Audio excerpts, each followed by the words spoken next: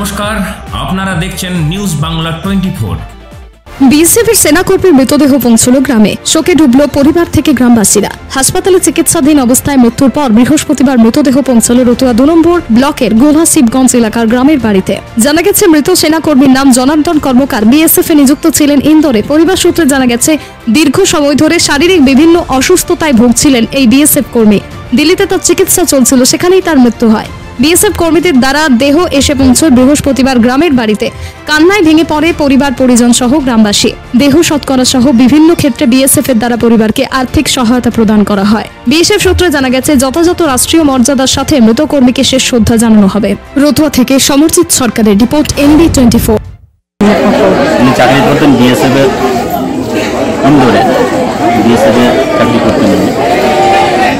Carpenter ছিলেন। প্রচুর অসুস্থও ছিলেন। লিভি- লিভার কিডনির প্রচুর সমস্যাও ছিল। তারপরে ডিপার্টমেন্ট থেকে ওনাকে পাঠায় হচ্ছে দিল্লি এমসে ওখানে গত রাতের আগের রাতে মানে উনিশ তারিখ, সাড়ে চারটায় উনি মারা যান। অন ডিউটি অবস্থাতে এই কিডনি এবং লিভার একটু খারাপ হয়ে হয়ে যাওয়ার কারণে প্রথমে ইন্দোরে যে ডিউটি ছিল, তাই ইন্দোর থেকে ইন্দোরে ইন্দোরে যাওয়া হসপিটালে ভর্তি করেছিলাম। ওখানে একটু অবস্থা সিরিয়াস হওয়ার কারণে ওখান থেকে যে মানে বাবার ইনচার্জ যে আছে, ওরা দিল্লি শিফট করল। Delhi Delhi primary super speciality হসপিটালে তো ওখানে ডাক্তার বলল যে, এখন কিছু হয়নি, তো সাত দিন অপেক্ষা করে, তারপরে জানাতে পারব। তো সাত দিন হতে হতে মানে বডি পার্টগুলো আস্তে আস্তে আরও খারাপ হতে শুরু করল। তো ডাক্তার বলছে, এখন একটু থামো, এখন একটু রিক্স আছে।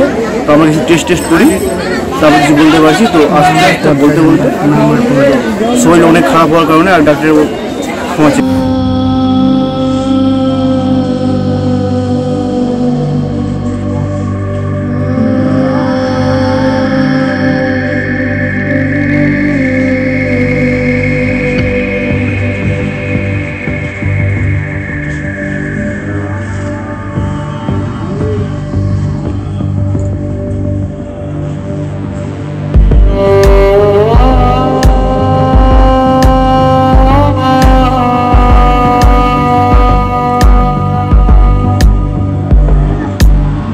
Whoa.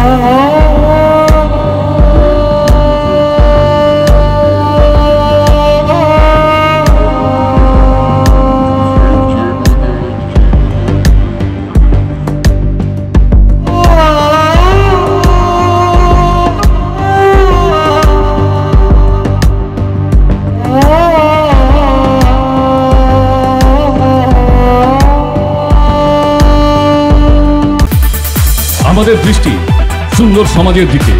আমাদের দৃষ্টি ভাঙন, বন্যা ভিটে ছাড়া উদ্বাস্তু সেই সব মানুষের দিকে। আমাদের দৃষ্টি খেলা, বিনোদন ও আপনার সাফল্যের দিকে। আমাদের দৃষ্টি দেশ জুড়ে জাল টাকা এবং সন্ত্রাস ছড়িয়ে দেওয়া সেই চক্রান্তকারীদের দিকে। আমাদের দৃষ্টি রয়েছে রাজনৈতিক উত্থান পাথানের দিকে। আমাদের দৃষ্টি রয়েছে সারা দেশ জুড়ে দৃষ্টি আছে আমাদের সমস্ত খবরের দিকে।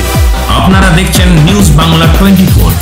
আমাদের নজর প্রতিটি খবরে। আমাদের সাথে জুড়ে থাকার জন্য আমাদের পেজটিকে অবশ্যই লাইক করুন আর শেয়ার করুন।